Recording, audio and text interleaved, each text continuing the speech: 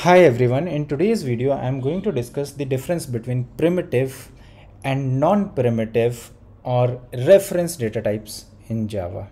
Also we will understand how these, these data types are stored in different parts of a memory. So Java basically support two types of uh, variables. One is primitive and the another one is non-primitive or reference data type. So what is primitive data type? So in so basically a primitive data type is predefined by the programming language. So in Java there are eight primitive types and these are int, byte, short, long, float, double, boolean and char. So these are not considered as objects and they store the actual value. What it means is when we declare any primitive type, let's say if I declare int a equal to 20 so it simply stores the actual value. The actual value, it means in variable a, the value stored is 20, right? And primitive values are stored on the stack. So at high level, when our code runs, it uses two kinds of memory for storing and manipulating these data types. One is stay, one, one is stack, and the another one is heap area, right?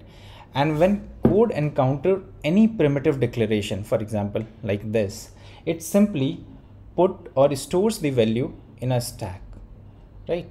So next, what is reference or non-primitive data type? In simple words, a variable of class type is known as reference data type. And these data types are not defined by the programming language, it is defined by the programmers and it contains the address or reference of a dynamically created object. For example, here the variable p is of person type and the person represent a class. So when we have to create its object, we simply use new operator. So this new operator create its object and assign its address in this variable p. So this object is created in a heap and its address is assigned. So p refers its address. So p will reference the address of a person object. And the actual object is created in a heap memory and the variable reference its address are stored on the stack. So p is a variable which refers to the address of this object. Right? So let's take few code sample and see how it works so let's understand the main difference between these two data types and its storage in different memory location with the help of code samples, right? So the first point of comparison is in terms of memory storage area, right? So primitive values are stored on the stack and in case of reference or non-primitive type, the object is created in a heap memory and the variable reference its address are stored on the stack. So to clarify this point, so let me take an example. So here I have declared a variable a which is of int type, right? And it is primitive.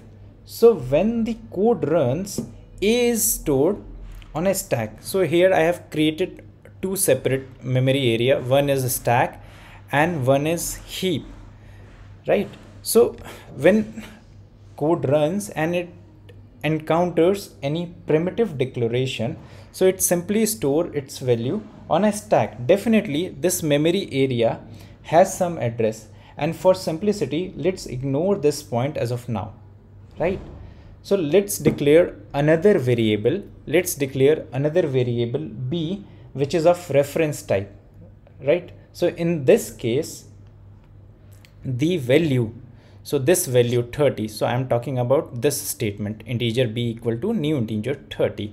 So b is of ref, uh, b is a b is a variable which is of reference type, right? So this object, the object is created in a heap area.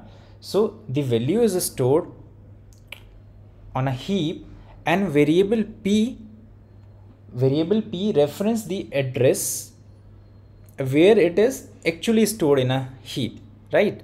So this variable reference its address.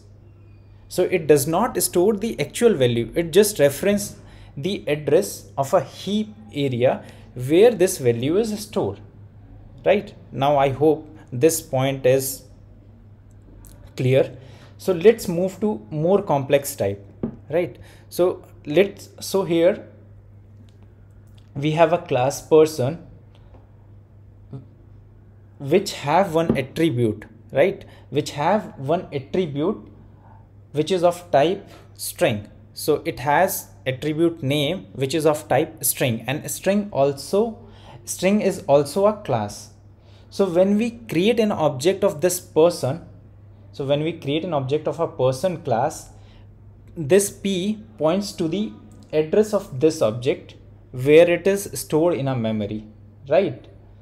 And internally, internally, this name attribute points to the address where this value is stored. This value Raj is stored basically because this string is also a class.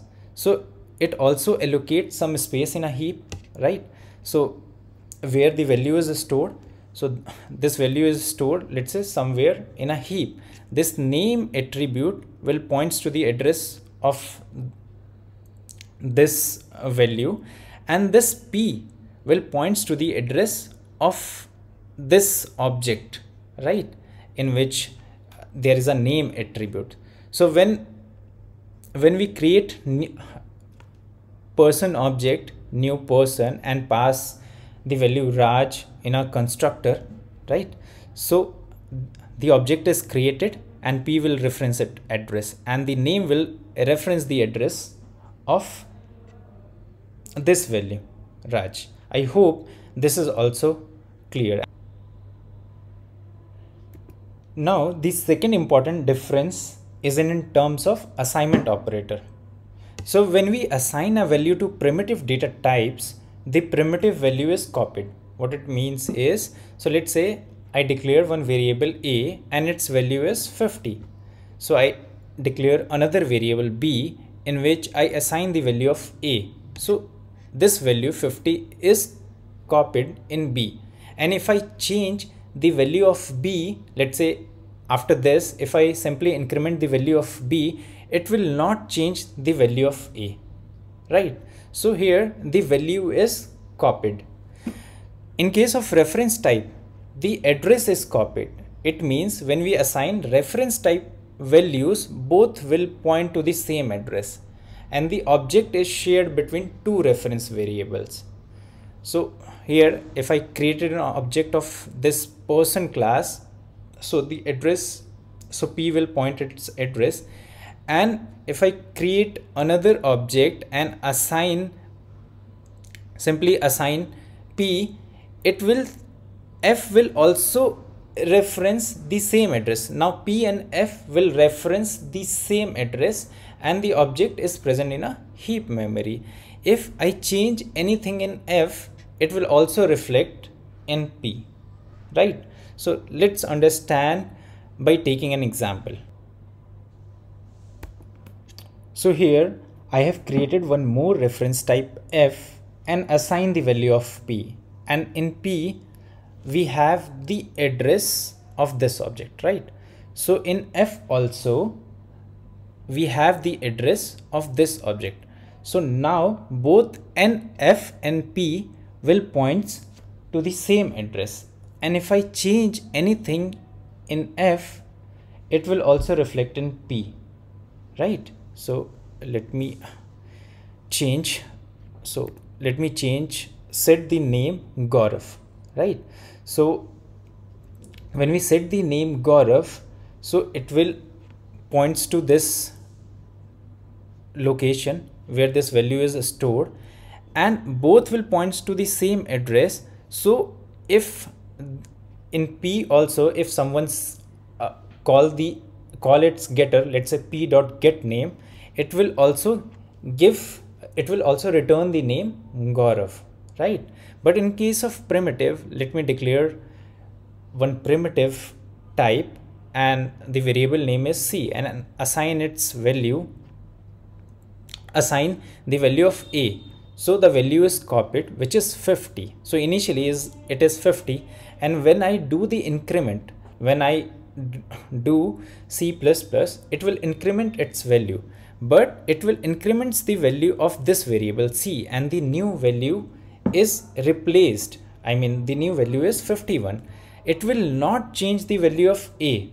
But in reference type if both will points to the same address if i change anything in one of the reference type it will also reflect in another. Right let's discuss the third difference and the third difference is in terms of comparison operator. So when we compare primitive variables, their value will be compared, right? And in case of reference type, their address is compared. It means two objects with same content may be seen as not equal. So it so therefore it is highly recommend you compare object type with this equals method. So object type should always be compared with equals method, right? So let me take an example. So in this code snippet, so here I have declared two primitive types A and B. And if I compare with this comparison operator and this if else simply if the values are equals print equal else not equal. And in case of primitive their value is compared right? So when this value is compared it is equal right? And here i have declared two reference type right? So both have the same content java. But since we are creating an object both will be on different memory location. And in this string 1 and string 2 the uh, their address is assigned. They they refers to their address. So when we compare with comparison operator when we compare two object with comparison operator their address is compared and definitely their address is different. So this line of code will not execute. But when we use the equals its content is compared. So java is compared with java and this statement is printed. So you can see both strings have same content right? Now let's move to the last difference i mean for this tutorial this is the last difference. So the primitive types can never be null right? So when we declare any primitive and if we don't assign any value they take their default value. For example for boolean their default value is fa false. For byte short int and long, their default value is 0. For float and double, their default value is 0 0.0. Reference type can be null, right? So if we don't assign any value in reference type, it is simply null. So null simply indicate the absence of value, right? So for this, let's see this code snippet. So in this class, I have two attributes so I have declared two attributes, age and name. Age is of primitive type and this name is of reference type. And when I printed the value of age and name, so their default value is 0, it is printed. And in case of reference type, it is null, right? So I hope you really enjoyed this video and that's it for this video tutorial Please like this video, share with your friends and subscribe our channel for more such video tutorials. Thank you. Thank you for watching this tutorial and thanks for your time.